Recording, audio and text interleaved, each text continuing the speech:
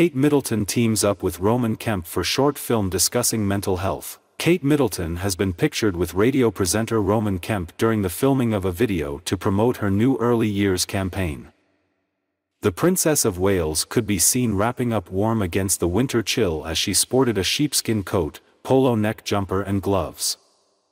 Kate smiles for the photographer with Kemp beaming beside her in the image of the pair taken in Hertfordshire last month.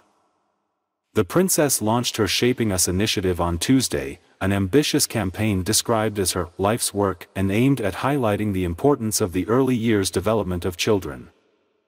In the short film, due to be released on Friday, Kate and the Capital FM breakfast host will discuss the importance of mental well-being, relationships and how by nurturing children in the earliest years of their life, society can build a nation of healthy happy adults. Kemp, the son of Spandau Ballet star Martin Kemp, has previously spoken candidly about his mental health struggles after the death of close friend and Capital FM producer Joe Lyons.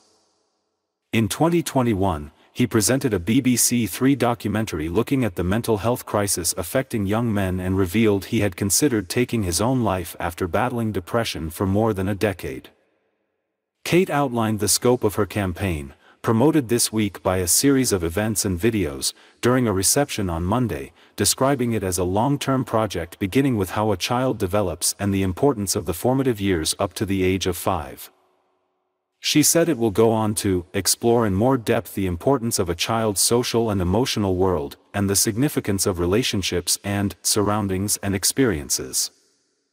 And of course, by understanding our own childhoods, what has shaped our own beliefs, relationships, behaviors and feelings, we, as adults, are better placed to play our part in positively shaping future generations, the princess added.